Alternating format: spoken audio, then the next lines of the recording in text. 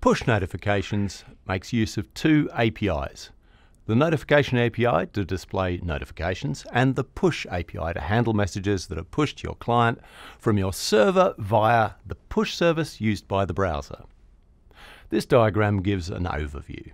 On the client side, your web page interacts with service workers, which in turn receive push events via the user agent, also known as the browser. And on the back end, you send messages from your application server to the push service, which then delivers them to the correct client. Let's look at the Notification API first. This allows developers to display notifications to the user. Before we can create a notification, we need to get permission from the user. This code will prompt the user for permissions to show notifications. You can try this out from the browser console. As you'll see later, permission is requested automatically when subscribing to a push service, so there's no need to call this function when using just push notifications. Let's take a look at some examples for configuring and displaying a notification from a service worker. We first check that permission has been granted then we call show notification on the service worker registration object and pass in the notification title. You can also try this out from the browser console. Try it on the new tab page. Now, for push notifications, you call show notification in the service worker in response to a push event when a message arrives. We can specify an optional options object to configure the notification. This is passed in as the second argument in the show notification function. The body property is the body text displayed below the title. Icon is the image displayed at the top of the notification. Vibrate is the vibration pattern for phones. In this case, 100 milliseconds on, 50 milliseconds off, 100 milliseconds on, so on. Data is the arbitrary data we can retrieve in the service worker when the user interacts with the notification. In this example, primary key allows us to identify which notification was clicked when handling the interaction in the service worker. Let's try that out. We can add action buttons to the notification that we can then handle each in a different way. Here's what that looks like. Notification interaction events are handled in the service worker, tapping, clicking, or closing the notification. There are two notification interactions you can listen for in the service worker. Notification close. The notification close event only triggers when the notification is dismissed via a direct action on the notification. If the user dismisses all notifications, the event will not trigger, and this is done to save resources. Notification click. If the user clicks the notification or an action button in the notification, the notification click event is triggered. If the user clicked on an action, the action is attached to the event object of the notification click handler. We can check which action was triggered and handle it separately. Now let's see how the two handlers work in a service worker. First, notification close. We access the notification object from the event object, and we can get the data from the notification object. We might use the primary key property from the data to identify which notification was clicked.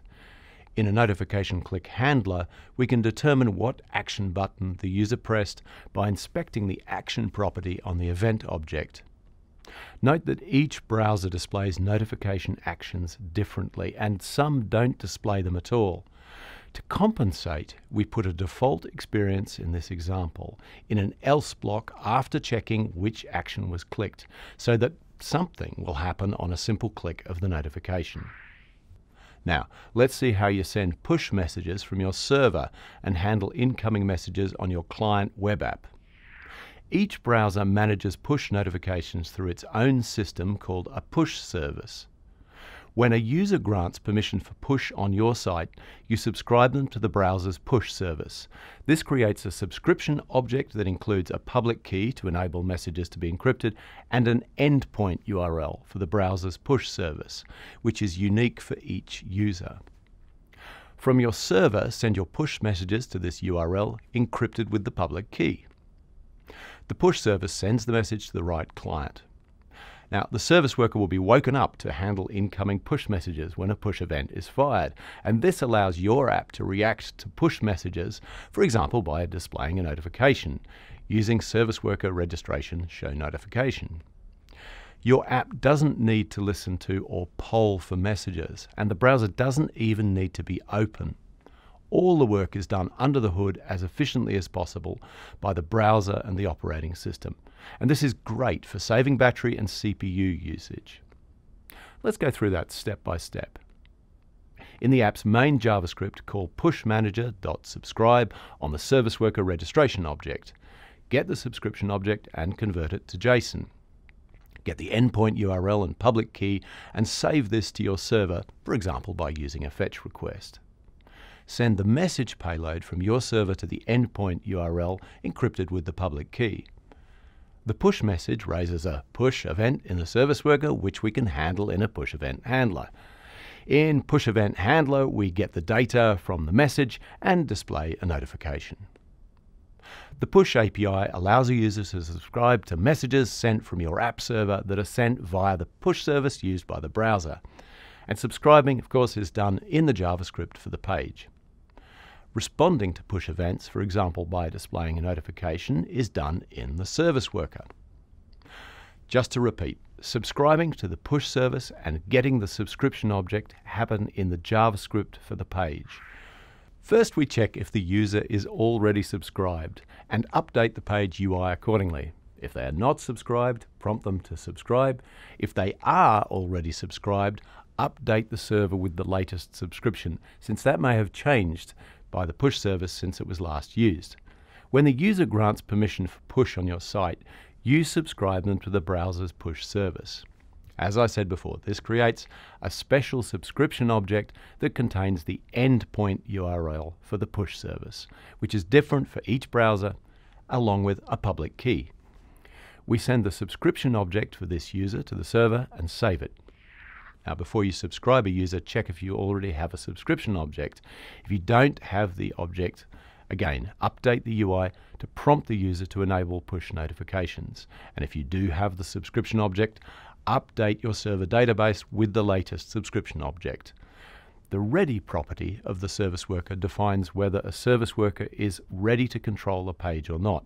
It returns a promise which resolves to a service worker registration object when the service worker becomes active. The getSubscription function returns the subscription object, or undefined if it doesn't exist. We need to perform this check every time the user accesses our app because it is possible for subscription objects to change during their lifetime. This is the process of subscribing to the push service. Register the service worker from the main page, main.js. This request goes to the user agent. The user agent returns the service worker registration object. Use the service worker registration object to access the Push Manager API, and from that request to subscribed to the push service. This request is passed on to the push service. The push service returns the subscription object, which includes the endpoint URL and the public key. Save the subscription object data to your server and send push messages from your server to the endpoint URL encrypted with the public key, like I said. Now, before sending notifications, we must subscribe to a push service.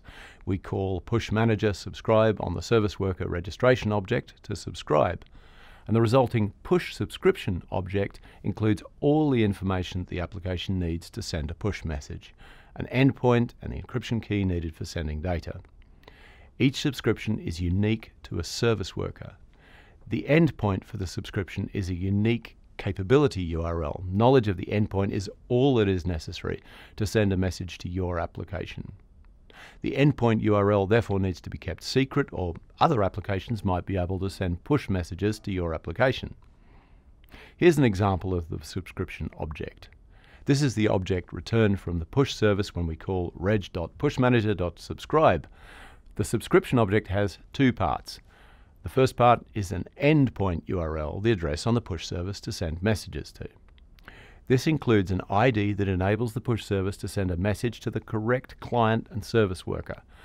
The second part of the subscription object is the keys property. The P256DH key is an elliptic curve Diffie-Hellman ECDH public key for message encryption.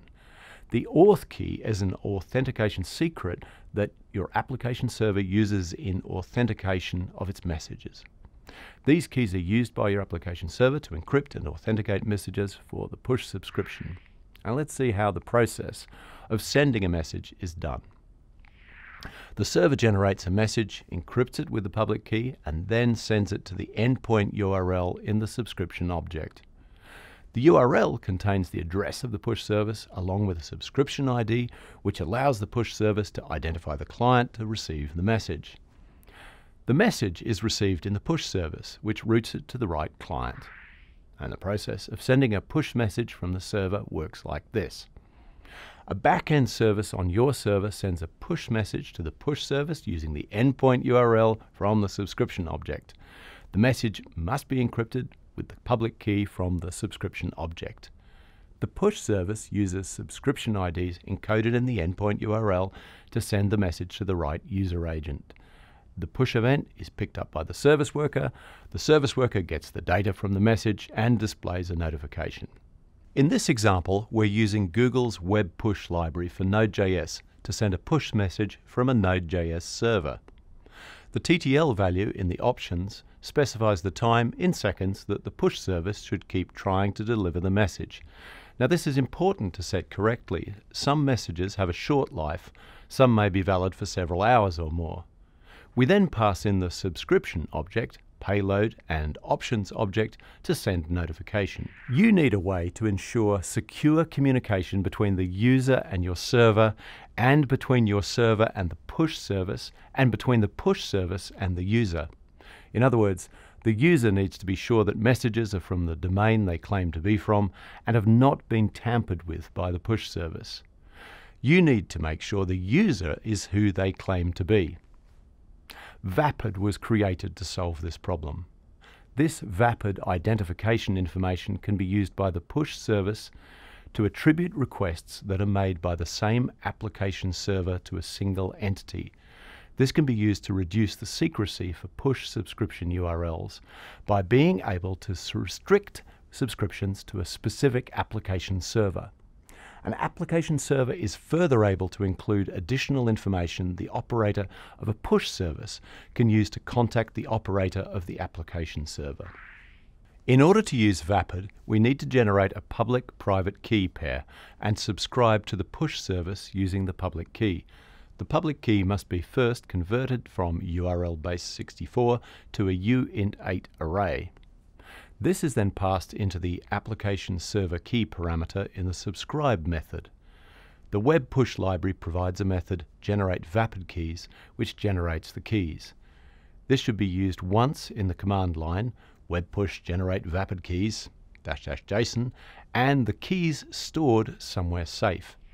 We can use the web push library to send a message with the required vapid details we add a Vapid Details object in the Options parameter that includes the parameters required for the request signing. Now, let's look at messages from the receiving end in the web app on the client. Handling push events happens in the service worker. The service worker will be woken up to handle incoming push messages and a push event is fired. This allows your app to react to push messages, for example by displaying a notification using service worker registration, show notification.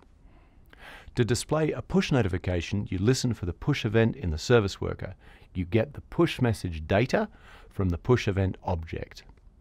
In this example, we simply convert the message data to text. We wrap show notification in a wait until to extend the lifetime of the push event until the show notification promise resolves. The push event will not be reported as successfully completed until the notification has displayed.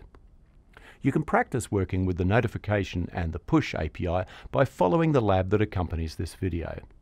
One small gotcha, don't use private or incognito mode for this lab.